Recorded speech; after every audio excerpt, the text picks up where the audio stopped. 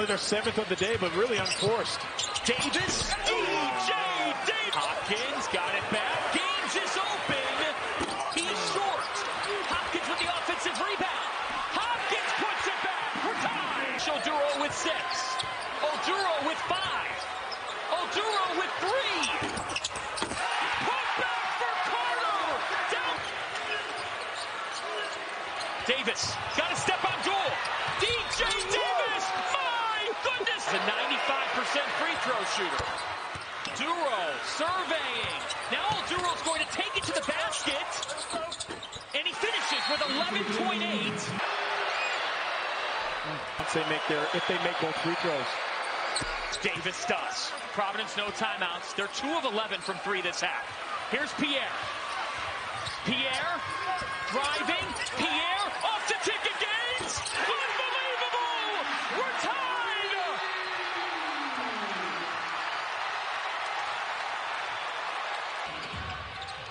Telfort to Davis. DJ Davis for the win!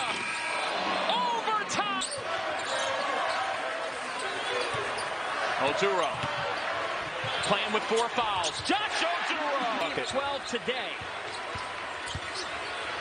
Telfort wills that. Kim English told him that midway through the second half.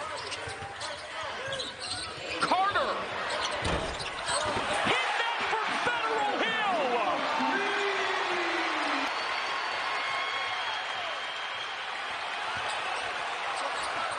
Alexander off to teams hit the clutch shot to tie it. Oduro's on an island. Oduro that island. Kim English is leaping in the air. Telfort couldn't connect. Popped up to Coates. How about the maturity level? Jayden Pierre, last year he would have tried to shoot that ball. Terrific job. Devin Carter! Make it.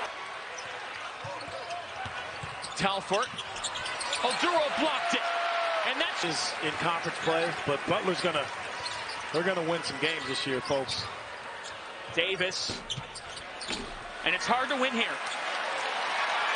It is hard to win here because of this crowd. Carter calls to them. 46 and 3 in their last 49 home games an unforgettable pre-Christmas present for the Providence Friars. A thrilling overtime win.